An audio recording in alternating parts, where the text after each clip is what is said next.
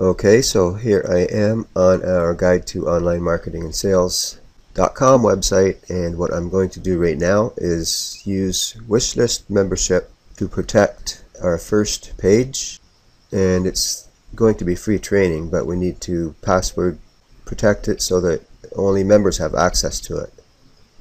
So this is some good free training but people must become a member in order to access it. So let's go and see the page that I made that we're about to protect.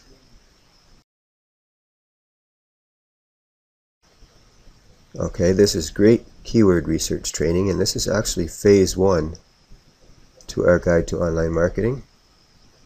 And I've got uh, videos that I've done myself on keyword training because success with your website pretty much should always start with keyword training. At least that's my belief and I have one, two, three, four, five videos that I've done myself. The top one here, this is the introduction and it walks you through how to use it. And below mine are videos from John Adams from his Web Business Masterclass, which I bought resell rebrand rights to. I'm not going to bother rebranding it though. And some of his training is going to be included free with this training. So let's go and password protect this page because right now this page is uh, it's a draft. It's not published yet. Okay we're actually logged into this page now and I've already shown everyone how to set uh, wishlist member up.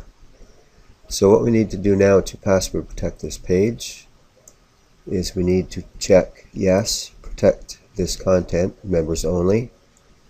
And we need to select the membership level that can access this content, which is going to be members.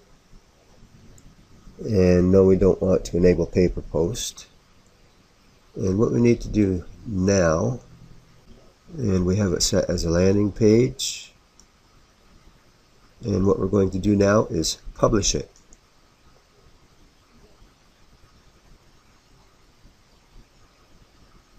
Now let's go and view the page.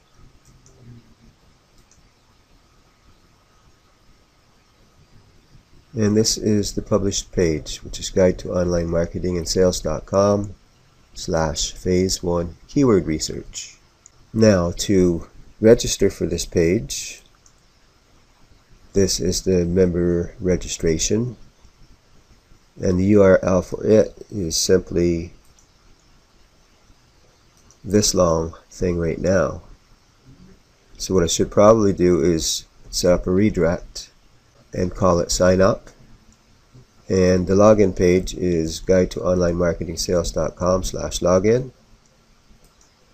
So this is the registration page. And this is the login page.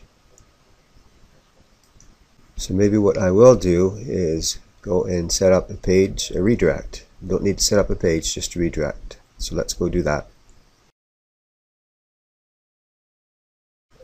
Okay, I'm in the dashboard and there's a plugin called Simple 301 Redirect. So we need to add a plugin first. So we go to Plugins, Add New, and simply search for Simple 301 Redirects.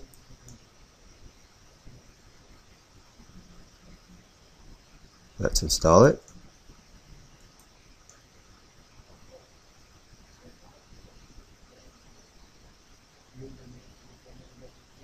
Now let's activate the plugin.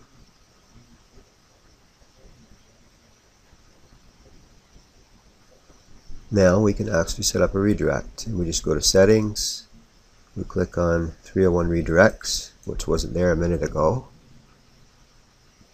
And we just need to do this slash sign up then it redirects to this page.